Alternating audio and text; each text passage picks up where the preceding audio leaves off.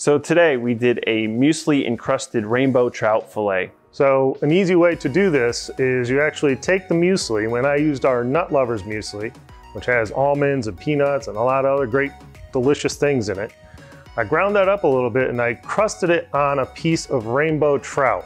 I served that with some brown rice. We cut up some sweet potatoes. We diced up some bacon, minced up some garlic, julienne some radicchio, Toss that all together with some fresh corn and a Dijon champagne vinaigrette, and then finish the whole dish with an apple cider gastrique and our Seitenbacher pumpkin seeds. The trout was sauteed in a little bit of olive oil. So to make a quick gastrique, all you need is a, a sugar and a vinegar and reduce that down to a nice sauce or glaze consistency. So in today's gastrique, we used a honey and we used an apple cider vinegar.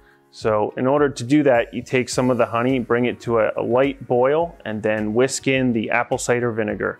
We also added a little bit of heat to it, so we used some of the hot chili oil at the end to give it a little bit of a kick. Hope you enjoy.